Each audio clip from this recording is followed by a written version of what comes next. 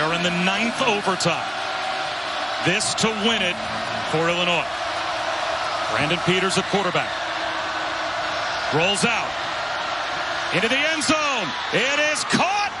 Casey Washington's got it. Illinois pulled off the upset.